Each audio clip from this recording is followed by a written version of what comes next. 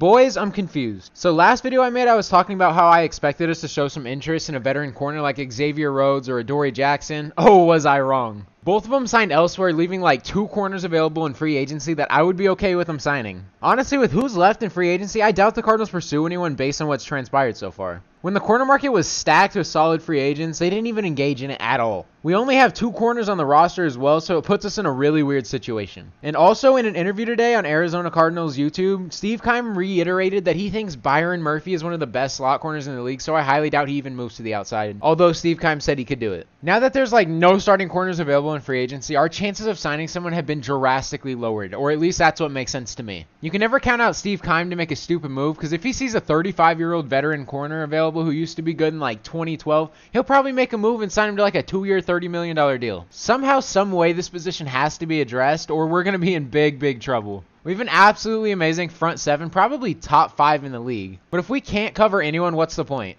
Now, there is a chance, and I don't know how likely this is, but we could end up giving our second round pick to get J.C. Jackson. Or since the Patriots are also shopping Stephon Gilmore, we could probably get him for a second round pick as well. If we can get any of them for a second round pick, Steve Keim, you better make that move instantly. I don't trust Steve Keim's drafting anyway, so if we can get a starting corner who is a former defensive player of the year, you pull the trigger. I feel like I speak for every Cardinals fan when I say this. If you don't pull that trigger and you have J.C. Jackson as an option and you have Stephon Gilmore and all you have to do is give up a second round pick, it does not matter. You pull the trigger, please, Steve Keim, please. Now, since J.C. Jackson is a free agent, we would have to give up that second round pick that I'm talking about because he's tendered. I would be cool with either of these moves, but Steve Keim, you have to address this. I would be cool with either of these corners on our roster because it beats Robert Alford as our outside corner. Steve Keim, listen to me. Make one of these moves and every Cardinals fan will forgive you for all the mediocre years that you've been here for, all the draft fails, all the heartbreak and misery, we'll forgive you. Well, at least somewhat. But if you take a corner in round one, we already know whoever you take will probably end up being a bust anyway, so don't do that.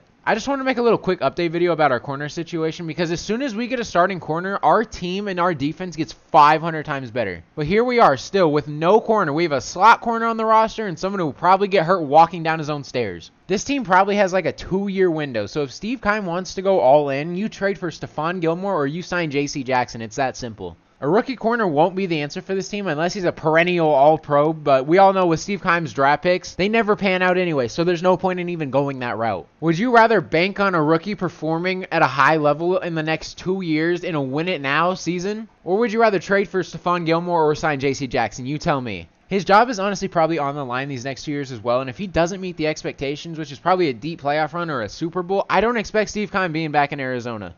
I hope so.